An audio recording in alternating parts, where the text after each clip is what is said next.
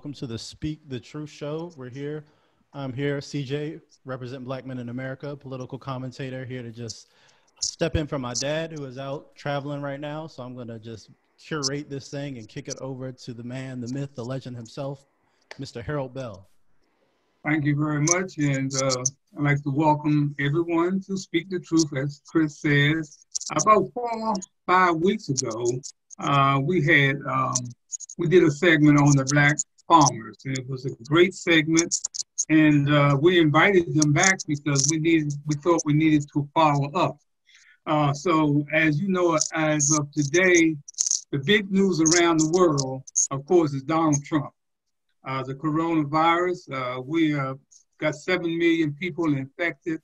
We got 200,000 plus, like 10, that are dead in America. And as, as, as all of you know, uh, Donald Trump was the one that was calling the thing a, a fake, a hoax, and everything else.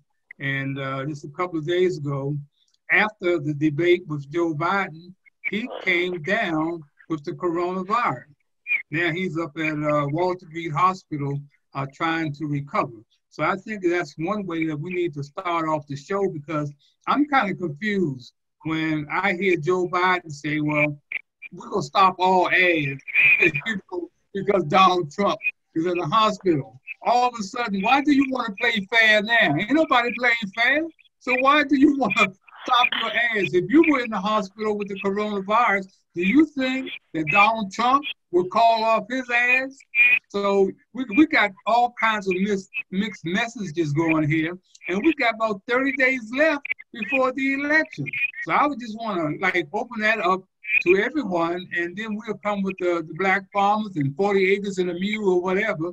But just take a look at, at what's happening because we are fighting for our lives right now. Make no mistake about it, man, that this election is very important to us, and we need to get everyone out and make sure they know how important it is that they go to the polls. So I want to bring in uh, uh, my, my, my dear friend, uh, she's been off for a couple of weeks, uh, took, took a break, but she is a, you know, uh, a former uh, writer for the Washington Post, the Baltimore Sun, uh, the New York Times. She's at the, in the School of Communications at Morgan State. And uh, I'm talking about the one and only, a friend for decades, Miss Jackie Jones. How you doing, Jackie? I'm good, Harold. How are you today? Okay. Good. I got to tell you, um, I have such mixed feelings about how to how to go at this thing. Um, like you, I, I thought Biden doesn't gain anything by uh, by playing nice. But the other thing I've noticed is how distracted people have been just by the whole discussion of of um, Trump's illness. And I think that this is a good opportunity to just figure out what his record has been and to just day by day by day look at everything from the treatment of Black farmers, his stance on uh, the coronavirus, especially since it has a disproportionate impact on the Black community, uh, looking at his stance on taxes, looking at his stance on all kinds of things that are going to impact us down the road. So you don't have to attack him. All you got to do is tell the truth. So some friends were uh, uh debating on Facebook whether uh, Trump's uh, announcement was even true or fake. And I said, doesn't matter. I said, every day we're going to put something online that's, that you have researched, reported yourself, or that you can cite reliable sources to explain what Trump's policy has been on any number of issues. And I said, now I'll go first. So yesterday, I looked at the uh, payroll tax deduction and the impact that it would ultimately have on Social Security. Uh, today, I looked at um, um, what Trump said about the, the um, Affordable Care Act and, and his saying that, uh, you know, in back in, in August, he wrote this executive order that um, uh, would keep insurers from uh, denying insurance based on, on pre-existing conditions. And so I said, but the, the Affordable Care Act already does that. And what he didn't say is there is no precedent that shows that an executive order would change any of that if they manage to completely overthrow the Affordable Care Act. And people have gotten used to those certain provisions that put limits on insurers, but they and they think Trump has done that. But the fact is, it's been in effect for 10 years, and it came in under the Obama administration. So when all is said and done, the things that you enjoy and you think that Trump is going to protect are a result of Obamacare, not a Donald Trump. And I think that this is the time to just hammer that stuff home day in and day out. Because if you get caught up in the debate of, of, of whether Trump's telling the truth or lying, we already know it's the latter. So why don't we just focus on the impact of his policies and what they've done to Black people and just remind them day in and day out, this is where your focus ought to be, and this is what ought to be front of mind when you go to vote. Fantastic. Chris, follow up with that, Chris. Uh, absolutely. I, I, I have a kind of a counterintuitive opinion about Biden and him not running negative ads because, as uh, Ms. Jones said, you don't have to run negative ads. Biden didn't stop campaigning. I think him running negative ads against Trump will backfire anyway. We already know Trump is bad, and I think that strategy and making it a referendum on Trump is a mistake.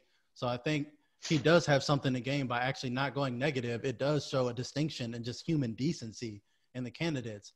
Biden's strength is not policy. He should focus on the policies where he's better than Trump, which is mostly everything, even though he's not great and he's not you he's, he's not offering enough to excite a lot of people on policy. So he needs to lean in to where he it does have a clear advantage over Trump, which is just human decency and overall competence, and he should lean into that as well. So I, I think it is a, a, good strategy to to actually go high on this one. As much as I have struggled to find sympathy for Trump and him having COVID or whether it's a distraction or not, I honestly I also agree that I don't care whether it's true or not. It, it, we need to stay focused on the election coming up and policy and not you know, Donald Trump wouldn't be wishing anyone well if they got COVID 19. Let's keep it real. He'd probably be running attack ads against Biden.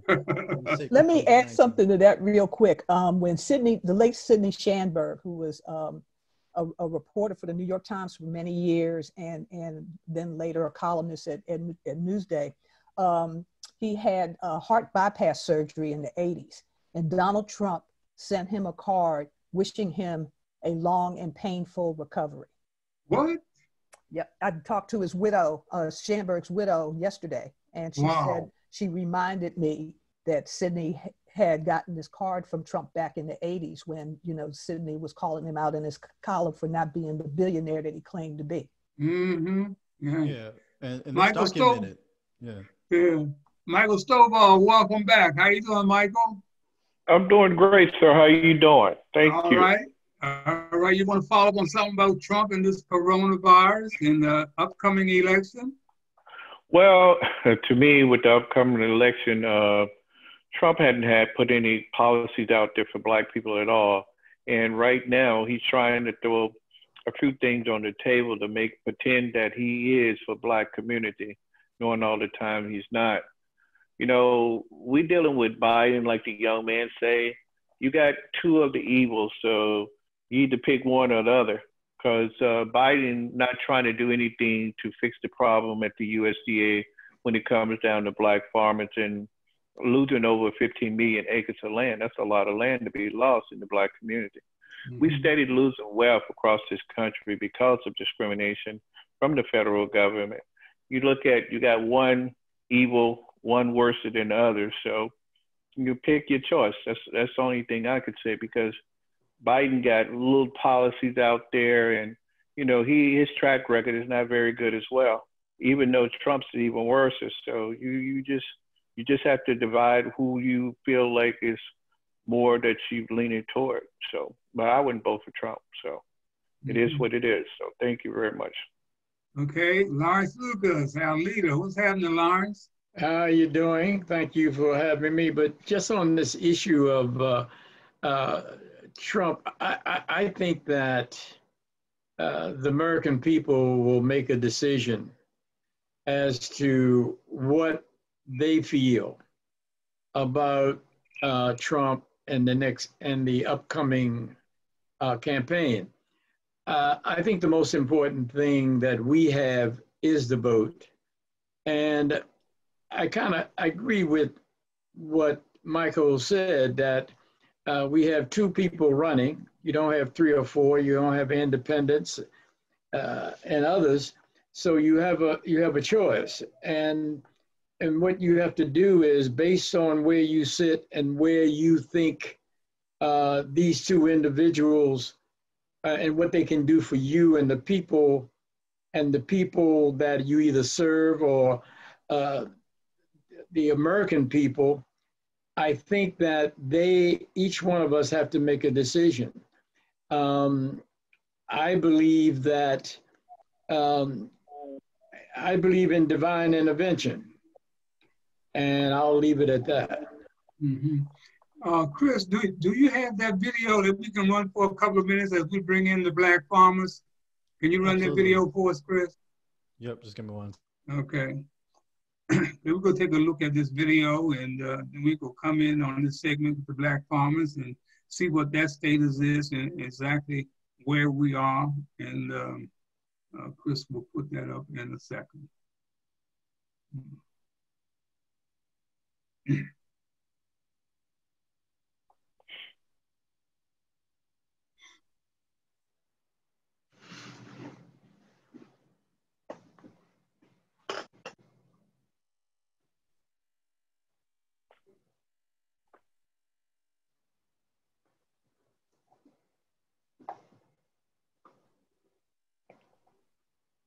Jackie, did you go out of town? Oh, okay, there you go.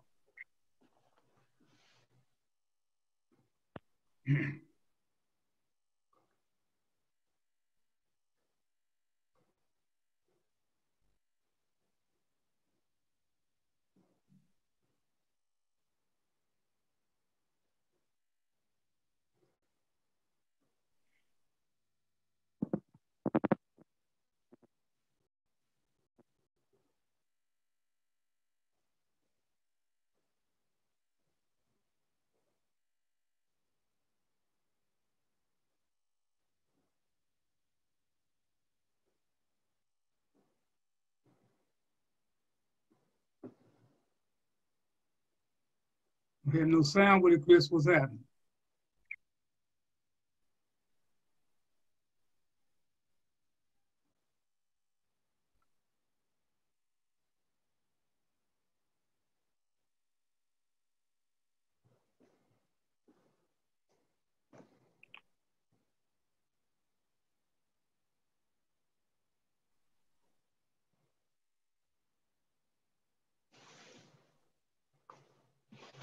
Okay, Chris, you can uh, cut that back and, and uh, Brother Lawrence will be able to bring us up to date on exactly what's happening here and who is John Bull. Okay, Chris, you can cut it back. Okay, Lawrence, tell us uh, what we were getting ready to look at there. Uh, who is John Boyd and what is he to uh, the black farmers? Uh, John Boyd is uh, one of many uh, black leaders in the black community and the rural community uh, that uh, has, in fact, has contributed. Uh, in the early days, uh, he was the one who got me involved, meeting me down at uh, St. Augustine and down south. And um, I was spending most of my time on employee issues in 1994 but uh, he was the one who came to me and sat down and um, one night and we talked about the issues of black farmers because my focus were primarily uh, because the USDA Coalition of Minority Employees was focusing primarily on employee issues. Uh, I had heard about black farmers and he brought this to my attention. And he has been one of many leaders that have uh, stepped up uh, years ago, along with many other farmers, because um, I think the National Black Farmers Association was founded not by John Boyd, but I think it may have been originally founded by a group of black farmers out of Texas and Alabama. And um, he has been a piece of the puzzle of bringing attention to the issue of black farmers and what the U.S. Department of Agriculture has done in destroying the lives of black farmers and destroying uh, the ability for them to farm. At the same time, what people don't understand, and Michael Stovall and uh, uh, uh, Waymon will give you some history uh, in this regard, but the USDA, the Department of Agriculture, has been the impediment and the the instrument by which land loss, millions of acres have been taken back from black farmers. This, we talk about three, 400 years. And after slavery, all this land that was that was able to be acquired after slavery, uh, historically and historically has been taken back because we have a process of racism and uh, at the U.S. Department of Agriculture that have denied black farmers their land, taken their land. They've also uh, taken a way of life from them, uh, their ability to uh, educate, and they did a fine job of doing that. With with the, and we have doctors and lawyers and, and professionals around this country because of it. But uh, the U.S. Department of Agriculture is the instrument by which they have systematically deprived black farmers of their land. But most important also is the fact that they've taken the wealth, the wealth that would ordinarily be passed on from generation to generation. The growth and the ability of their farms to grow and become more economically stable, even in an unstable environment like we have today. But I think that uh, Waymon and I think that Stovall and and the Ms. Hishaw, we're going to talk about uh, the farmers. We're going to talk about a documentary. Uh, we're going to talk about a book. Um, uh, Mrs. Hishaw is on also. And what we're going to talk about is those things that brought us to this period in time in history where we have seen the taking of, of land from black farmers. And the problem is that if we would have all worked together and all our leaders would have done what they were supposed to do, we wouldn't have this deprivation and this continual effort by the U.S. Department of Agriculture to deny uh, black farmers a way of life. They also discriminate against employees, rape, sex, monkey dolls, people call the N-word, uh, hangman's nooses, hangman's games. Um, I remember the first exposure I really had was when uh, during the Clinton administration, when I went into a bathroom in the Department of Agriculture in Washington, and on the bathroom door it says uh, NAACP. Now apes are called people. That was part of a baptism, um, but of course, my my baptism as it relates to civil rights started in 19 deeply in 19, uh, 1964 on the mall and heard the words of Dr. King, and I've been following that ever since. That being said, I think we have uh, Michael Stovall, we have uh, Waymon Hinson, we have um, we also have Ms. Hishaw. Now, I'm going to start with. Um, I think it would be good to start with a farmer because a farmer can explain to you better than I can and better than Waymon can, as well as Ms. Hishaw, about the deprivation and what he suffered and many other farmers have suffered. Uh, Michael Stovall, uh, farmer from Alabama, head of the Independent Black Farmers, have been in this struggle for 20 some odd years, seen people uh, march, seen people demonstrate, and seen many of his colleagues and some of our friends die waiting for justice at the U.S. Department of Agriculture. Uh, we have, uh, we'll probably have Waymon Hinson and have Ms. Hishaw after that, and then Waymon. Um, Michael, can you tell us based on uh, where we are now, have anything changed since we were on air a number of weeks ago?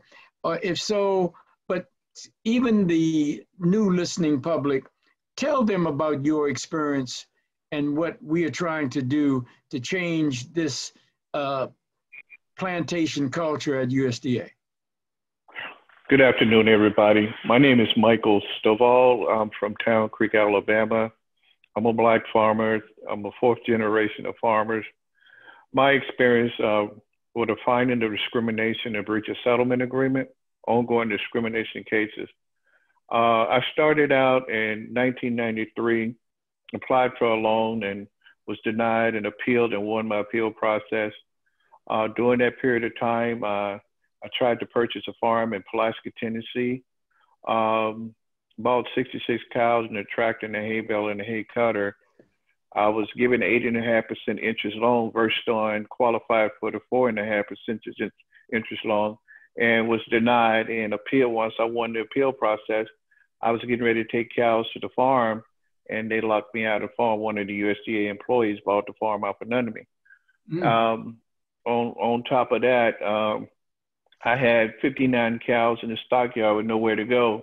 So I ended up leasing a farm in Limestone County, kept that farm for over a year, tried to purchase that farm, and then the USDA stepped in because I was getting on television telling how racist this company is, how USDA have destroyed many black farmers' lives, including mine. They came in at the end of the day, they killed my cows and rustled my cows and at night brought me up on erroneous animal charges went to court and they gave me two years probation, even after sitting in the courtroom and the U.S. attorney said that these cows ain't starved to death. Ain't no way. The judge told them to be quiet. Don't say that. We finna, you know, do whatever they had to do to me to hush me up. So all those things I experienced, put in jail, locked up. Then I won those cases. They turned around and said that the USDA discriminated against me. I won that part, then they turned around and breached the settlement agreement after discriminating against me again. So I was run off the road and harassed and killed cows and destroyed my chicken house. I got chicken houses now sitting empty. They held up the loans to keep me from getting an operation. I was supposed to get priority consideration, farm ownership and operating loan. I didn't get no real money from the settlement. They supposed to got me back in business and they breached that. So I'm just kind of giving you a little outlet because mm-hmm. I, I don't want to make it so long and bumpy, but I'm just trying to give you a little layout. But that's what they do to black farmers across this country. They destroy their lives so they can take so they can take the land. It's all about the land. It's all about building wealth. If they can keep you beneath them, that's what they do. And it's all it's all a good old boy thing to keep the black farmers from being able to build wealth. You can, the quickest way to build wealth is land ownership because land increases. They don't make no more land. It's a farm sold down the street from me. It was 580 acres. That land bought $3.5 million in the last two years. So that's how quickly land values increases in, the, in certain farming areas. So they want to make sure that you don't own the well. And it went from one administration to the other. Not only the Republicans, the Democrats just as bad as the Republicans. It's the same old, same old. Get along. So my thing is, it doesn't matter who's in the White House. It's about doing what's right. Because at 400 years of slavery, we, we acquired millions of acres of land. We lost over 15 million acres of land because of discrimination of the, of the federal government. They're the main leaders. A lot of farmers left the South going north because they couldn't farm.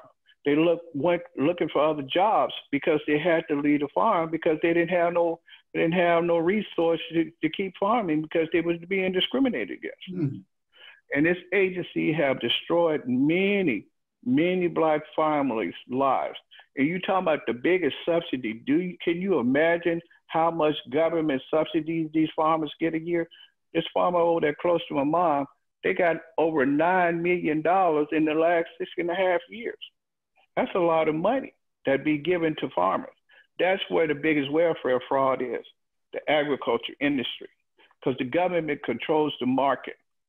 When the prices are high, you make good crops. When the prices are low, the government steps in, pays you subsidies because of the market is so low.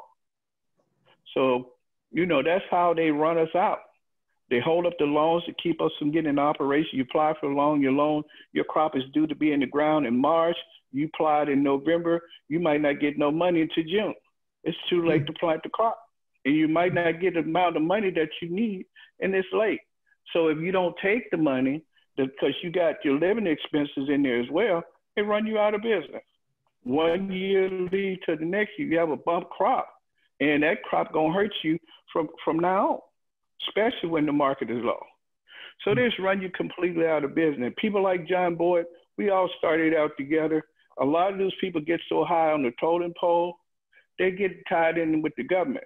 And when they get mm-hmm. tied in with the government, long as they can get what they want, they ain't concerned mm-hmm. about you. They ain't concerned about the next farmer. I was 29 years old. I'll be 57 this month. I've seen a lot of farmers die because mm-hmm. of discrimination. So uh, it's just unbelievable what they do and continue to do to black farmers across this country. Wow. Thank you. Thank you very much. Uh, that's that'll give you all an idea of uh, what's happening and what has happened to black farmers. Uh, many of the farmers we started with, uh, Lupe Garcia, um, George Hildebrand, Hezekiah Gibson.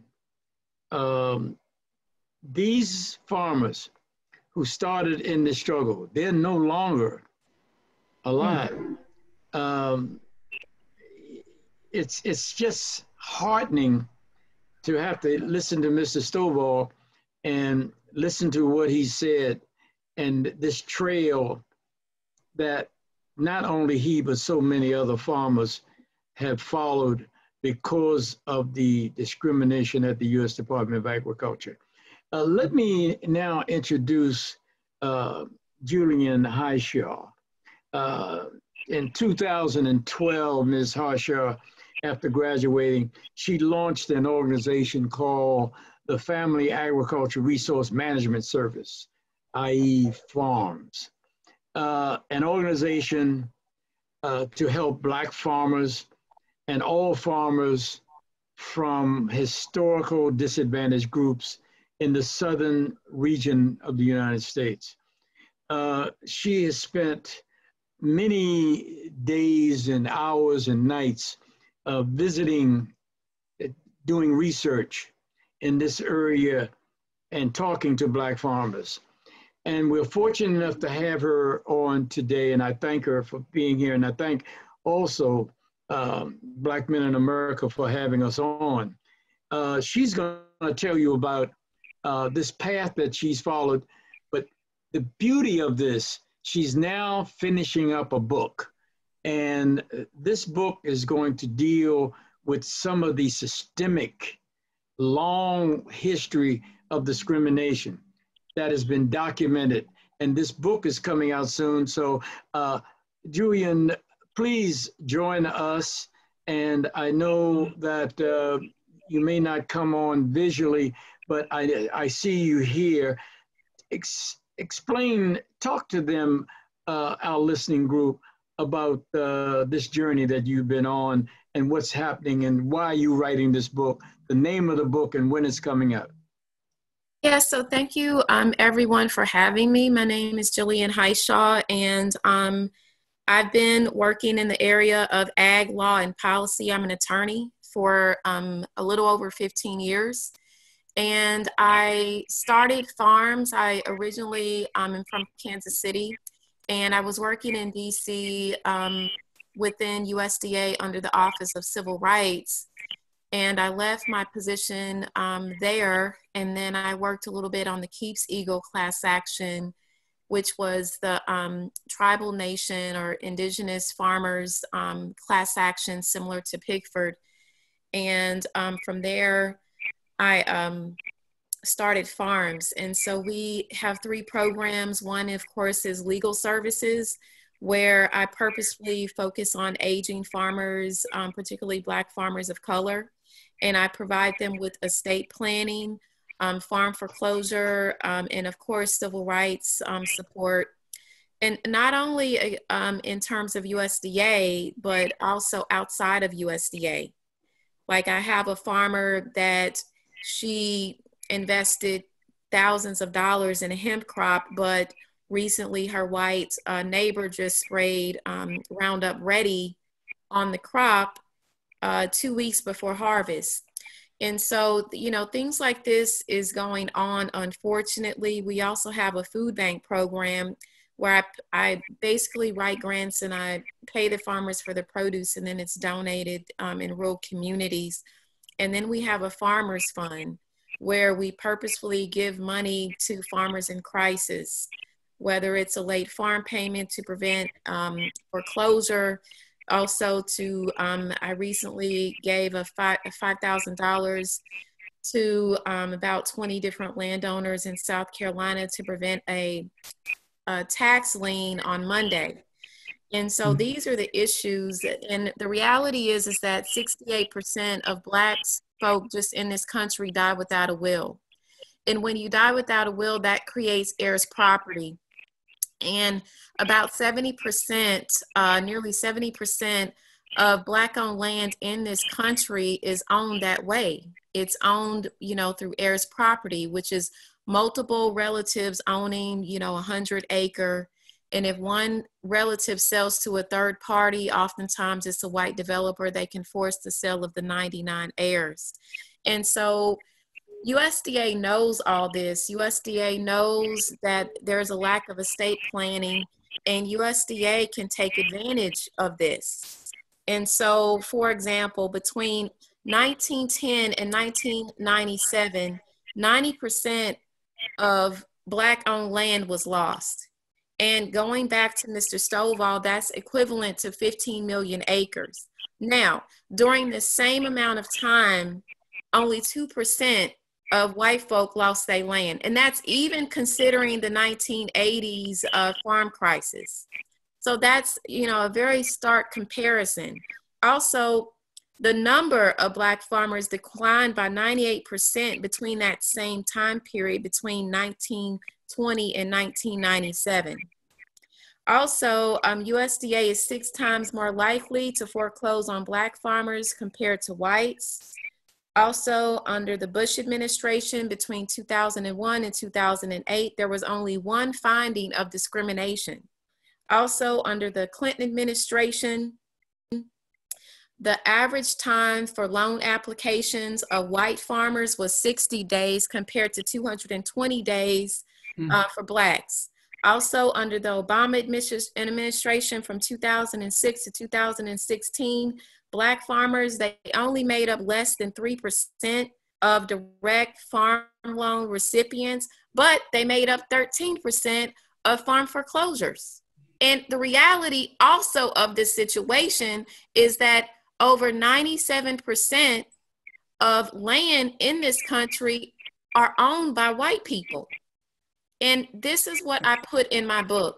I do this work because my grandfather, my own family lost our land in Oklahoma, Oklahoma.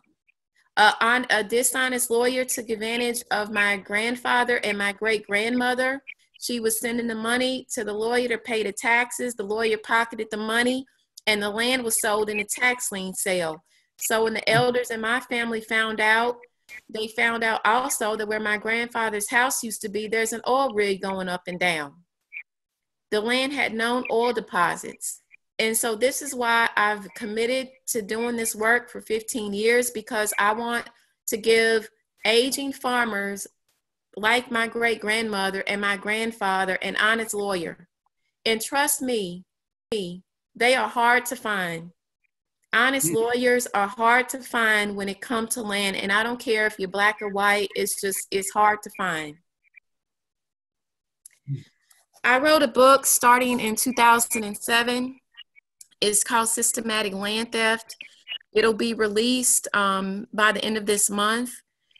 And thank goodness for Mr. Hinson's editing um, capabilities. Um, I'm in the final editing stages, sending it off to the layout person in the printer um, within a week. And it should be um, in paperback available for $20, $25 for sale on my website. I also published another book Don't Bet the Farm on Medicaid two years ago because the reality is is that the average age of the U.S. farmer is 58.5 and over, according to the 2007 USDA census that came out last month, last year, April last year. And nursing homes are taking land through Medicaid liens. People don't realize that when you qualify for Medicaid, that opens up your land and your house. Even if you own a house in the middle of Atlanta, right. that that opens up your land and your house to a Medicaid lien. So if hmm. you owe an outstanding debt to the nursing home, the nursing home could put a lien on your house and your land. And I'm in third edition of that book, and I go through 17 states and I look at all of the lien law exemptions. In certain states like Florida and Georgia, in Georgia, you can exempt your home and your land up to a certain amount from these um, Medicaid liens. But I can go on and on, but thank you so hmm. much for having me. Um, Thank you. Uh, hold on. Um, what I'd like for you to do um, before you go, uh, and I want you to stay on as long as you can. Yes, I um, will. What's the name of your book? Oh, and oh yeah, systematic systematic land theft. Systematic land theft. That's the name of the book. And your website. Uh, Jill, my name is uh, Jillian J I L L I A N, and my last name is H I S H A W dot com, JillianHishaw.com. Okay. And then my org's website is 30,000acres.org because again, we lose 30,000 acres per year in black land ownership in this in this uh, country. 30,000 acres per year a year of black land is lost. Wow. Wow. Okay. Uh, uh, Harold, were you getting ready to say something? I don't. I didn't want. If you had a question. No, no, okay. I, I just want to make sure that we had the, her information, the website where we can uh, find her and get that book and support her. That yes. was great. That was great information. Man. We can get that up on the site too. Okay, that's oh, yeah, we put it up on the website. Thank that's you. right. Thank you. Mm-hmm. Thank you so much. Okay, mm-hmm. well, uh, thank you, um, Julian. Uh, don't go away unless you have something uh, more bearing. There may be some more questions to be asked. Yes. Uh, and add to some of the dialogue that may come later. Uh, we also have with us uh, today uh, Mr. Waymon Hinson, a, a very, I found him to be a very remarkable individual. Um, I, I, can't say the kind of support that he's given to Black farmers going all the way back to, I think, 1954. I think we were at the same conference and, and, um, and we never met during that conference, but uh, he's been involved with the black farmers. Um, he, for example, uh, he earned a degree in theology uh, and a psychologist, a licensed psychologist, um, and he's a family therapist in uh, Texas his history with black farmers uh, is extended through like uh, through and go takes back to 1994, and he began began to consult and work with farmers and their legal counsel as they were going through uh, Pigford one and Pigford two during the Clinton administration. Uh, there's so much I can say about him, but he has been a very pivotal pivotal uh, point um, in this conversation by joining in and volunteering to work with the coalition and some of the strenuous work that we do. But uh, he and Sean Hill, they met with uh, Gary Grant, Black Farm in North Carolina, BIFA, uh, a, a very long supporter of Black farmers. And Waymon has been involved with putting together a documentary. But not only has he been putting together a documentary, and I, I want him to talk about that, but uh, Waymon has been a pivotal role and has been aggressively fighting for Black farmers even in 2020. So his struggle and his commitment to civil rights, human rights, and especially to this issue of black farmers, phenomenal. Uh, Waymon, I can't, there's not enough to say about you, but uh, please come in, uh, Mr. Hinson, and share with our listening listeners about uh, why you did doing this book and why are you so involved with Black Farmers in 2020? With that, thank you for those kind words, uh, Lawrence. I'm I'm honored to be walking uh, in your shadow uh, in the area of policy development, in the area of uh, legislation. So my involvement with Black Farmers goes back to '94 when uh, a lawyer by the name of uh, James Meyer invited me on to do uh, work in terms of psychological assessment uh, with the first four farmers' cases that were settled. There were actually 15 farmers that settled with the feds at between 1997 and 1999. So it was my privilege and honor and burden to work with four of those. So I met them on their farms or they came to see me in Abilene. And I wrote these lengthy reports, sent them to an attorney who sent them to another attorney, uh, and they decided how much they were going to sue the federal government for. So my fingers were not in that. My fingers were in the area of pain and suffering. So my job was to assess their lives before the USDA got involved and messed things up. And then my job was to compare and contrast that with where they were after the USDA had really screwed over these farmers. So the buzz phrase there is pre-morbid and post-morbid conditions. So I got involved because stories of farmers was incredibly compelling. So take all that Michael shared with us, and that's just a microcosm of his story. Then multiply that times thousands, thousands, and thousands of other farmers, and that injustice was the thing that compelled me to get involved. And I believe for a long time that I can't do everything, but I can do something. And so, whether it's volunteering to be a part of the coalition with Lawrence, or whether it can be um, developing a documentary that tells the larger story, uh, I just want to be a part of doing something uh, that, that's worthwhile.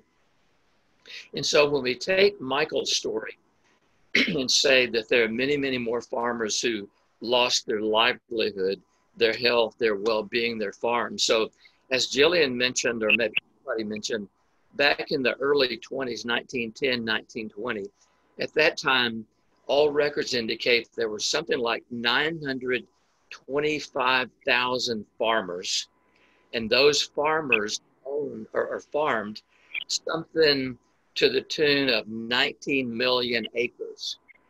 And if you run that around the now, I see two different sets of figures.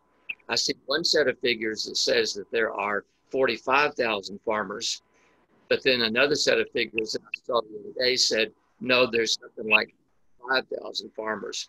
And those farmers, those 35,000 farmers, are farming something to the tune of a little over 5 million.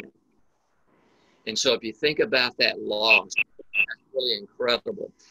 And then there's a um, another set of people that we get to hang out with periodically. We're about to come out with another document that talks about the actual values lost in terms of uh, uh, family generational wealth. And so if you take all of the land lost by farmers from the very beginning up to now, the land loss is something somewhere between $300 billion mm. and $1 trillion. Mm. Now that will take your breath away. And so if we believe as we do, America was built backs of black people, whether it's uh, the White House or buildings in D.C. or the whatever the case may be. When you think about what America owes, the number is absolutely staggering. And when you look at the by which the USDA land from black farmers, absolutely riveting. And when you look at the fact that they've stolen the land and yet they pay no price for having raped and robbed and pillaged black farmers from their livelihood, their health, their identity. Farmers would say things to me like, My blood is on this land. Farming is in my DNA. And so some of the farmers that I interviewed were able to trace their family lineage back to enslavement. And so they can show people were owned by somebody. They were worked owned by somebody. And then they get their own land and then it's taken away by who frankly looked like me. In fact, there was one farmer's wife who I'm not sure if they'll make the documentary or not, but uh, Mrs. Williams, Laverne Williams out of uh, Texas said, uh, she said, we were intended to work the land. We were never intended to own the land. And that's profound. So when black people get to own too much, looking too there are all sorts of machinations that land away. And and when that land is taken away, guess who's there to buy it? Guess who's going to buy it on the courthouse steps? Family of the USDA county committee who knew that it was coming, or family members of the bank who knew that they were about to foreclose on the farmers. So it's like there are people, I know this sounds like a big old huge conspiracy theory, but um, Stovall and Ms. Can confirm this. There are people out there waiting in the shadows to take their land. Seen it time and time and time again. And, and so all of that, I'm not sure how much um, you want me to segue now, Lawrence, into the documentary, but yes, that's, that's just the background. And so to, to, to be very quick uh, about the documentary, uh, when I met the four, first four farmers, uh, 94, worked with them up through 98. And then since then, those stories were so incredibly riveting that I thought should be told. So I had this dream for a long time for telling their stories in a larger setting, but they never had the money. Thought we had the money at it went to some other place. Sean Hill and I wrote several grants and somebody else got the money that we thought we needed. Mm. Then I was talking with Gary Grant one day. I'm actively involved with in North Carolina. Gary Grant, human being, his entire family. So we had been, BEFA had been encouraged to apply for leftover cy pres funds from Pigford 2. So I just simply proposed to Gary, if they want you to have this money, then let's build in some dollars to fund the documentary. And so here's the irony the federal government is funding Sean Hill, Waymon Hinson to tell the story of what they did for farmers. Now, tell me that's not strange. The federal government's dollars is funding in part Hill and Henson to tell the stories what they did to black so between those funds from BEFA plus uh, about that same amount of money from friends across the country, we went on a three-year journey, and we interviewed uh, people deeply involved in the Black Farm movement, uh, people like, people like Mike Espy, uh, people like Lawrence Lucas, people like Pete Daniel, who at that time was uh, at the Smithsonian Institute and wrote some really good books along these lines. And then there were 15 farmers who settled with the Fed between 97 and 99. And by their commitment to telling their stories, and by the grace of God and a lot of tenacity, we were able to find, locate, and interview nine of those. Now, they could be the farmer, farmer's wife, the farmer's daughter, the farmer's living sons, but out of those 15 farmers, we interviewed uh, nine of them. And one of those interviews, uh, Michael Stovall, his contribution to the film is outstanding. So what we did was to orchestrate things. I simply asked the question. Sean had on, and so the farmers really are telling their they're telling their story in their own words of what it's like to be on the precipice of their land. They tell in their own the grief and the agony and suffering with tears, clenched jaws, uh, because as they're telling their stories, even though it's in uh, 2018 20 that they're doing so, they are reliving their stories of land loss. And so it's like we are asking them to reach down deep into their souls and tell us these stories that still linger because America needs to know. And who better can tell the story of Black land loss than those people who came really close uh, to losing their land if they didn't lose their land? One more thing, and, and I'll be quiet here. Even though those nine farmers settled with the federal government, and what that means, and, and Michael dropped some of these words in, what that means is that they got number one, compensatory damages. Number two, they got relief. And number three, they got priorities. So those three things were promised in contractual agreements. But not all got the same level of compensatory damages because the Office of General Counsel came in and said, you can't give them that much money. Some farmers still have not experienced debt relief. And basically, none of the farmers ever got priority service. And so they threw the farmers on the front end and they mess them over the back end. And you know, that's a double, double, double wrong. So the film, the documentary will uh, tell those stories. Uh, when, uh, uh, wait a minute, when will, when, when will the documentary, uh, the title of the documentary, and when will it be coming out, and how, um, how can we and our listeners uh, get a copy of it? The uh, the film is called um, "I'm Just Layman in Pursuit of Justice." The, sub, the, the subtitle is "Black Farmers Fight the USDA." Um, if you haven't gotten it yet, we'll need to make sure that you get a copy of the press release because it has all the pertinent data there.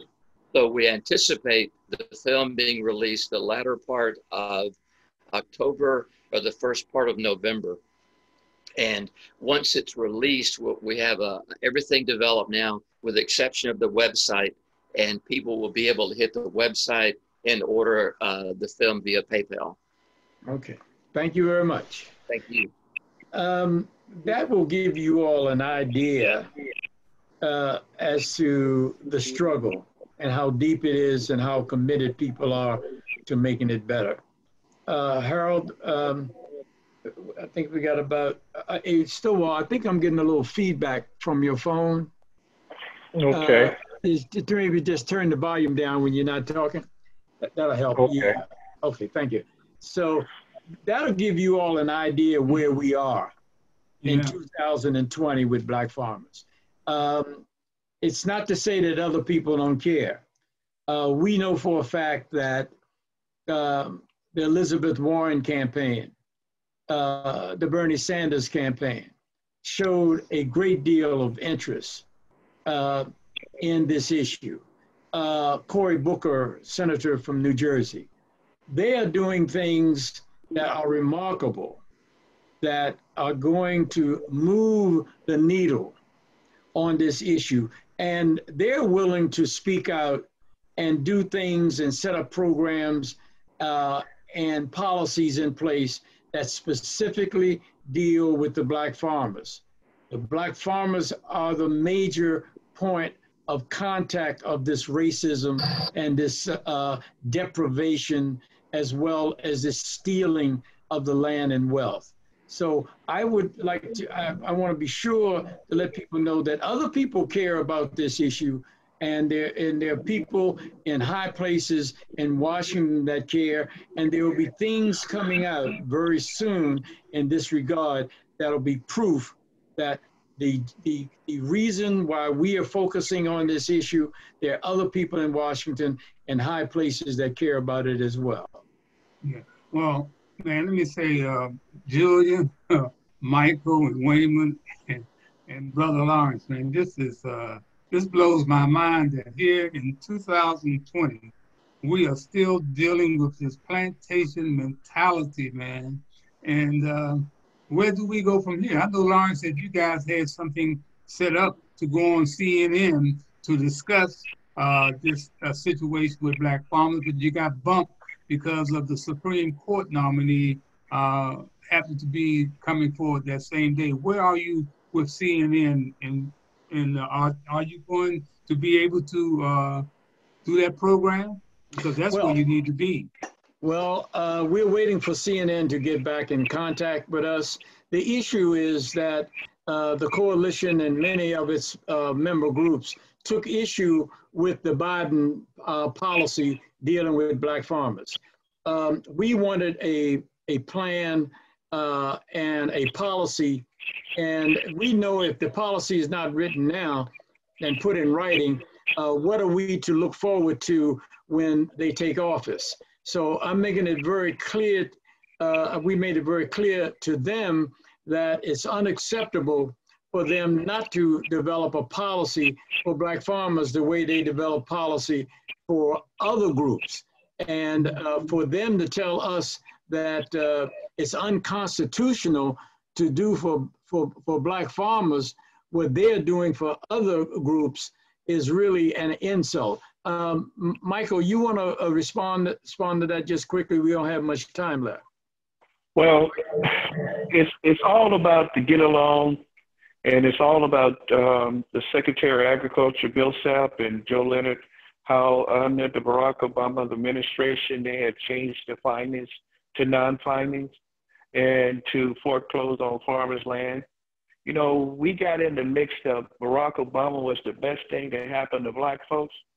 And that's not true. If black folks really know the true value of what happened under the agriculture part, they would they would look at him in a different manner. Because anytime black farmers have lost over 15 million acres of land and steady losing land because of discrimination under this agency, and you put somebody like Bill Sapp in office and knowing that he had over 600 complaints against him in Iowa, why would you put somebody in that in that position. Then you put Joe Leonard as well. And they steady discriminated against black farmers. And when the investigative report came out that they was they was changing finance to non-finance to keep from paying these farmers so they can lose their land. You know, if we was a spotted owl or anything else, this situation wouldn't been going on as long as it has. From administration after administration, from president after president, black farmers are steady losing and steady losing wealth and instead of being um, killed, hung out, hung out in trees and all this kind of stuff. This stuff is still going on. When you got mm-hmm. white farmers that want your land, they will do anything and everything to try to get your land. I got chicken houses, never got in operation. They vandalized my houses before I can get chickens in them. All this was part of the USDA plan to run me out of business. So these things steady going up. Okay, thank you. Hey, man, I wanna I wanna thank uh, first uh, you guys for coming on. You're welcome to come back because this is something that we need to follow up on. I would like to thank Jackie uh, for taking time out of her busy schedule and, and Chris. But we need to we need to stay on top of this, man, because I want to say some things. I just don't have the time to say them now. But I will be writing about them on Black Men in America, and we will have this up on Black Men in America, and so we can send this around the country uh, tomorrow because that's what we got to do. We got to put you guys out there. So Waymon and, and Michael and, and Julian, uh, Ms. Henshaw, stay in the fight, stay in the struggle, man, because we need you. And like you said, there, there, there are not enough honest people out there. We are honoring thieves and liars today. We are honoring thieves and liars. Anybody, yep. anybody yep. tells yep. a lie. So you guys stay stay with the struggle, and we're gonna get out of here. But remember, you always got a place here on uh, Speak the Truth on Zoom Sunday. Okay, Thank. Chris, you can take us out. Thank you. All right. Thanks for everybody for showing up. Thanks for everybody for your Thank you. Be safe. Thank Be you. safe. Thank you. Everybody Thank you, have a Julia. week. Thank you so much. everything. Mhm.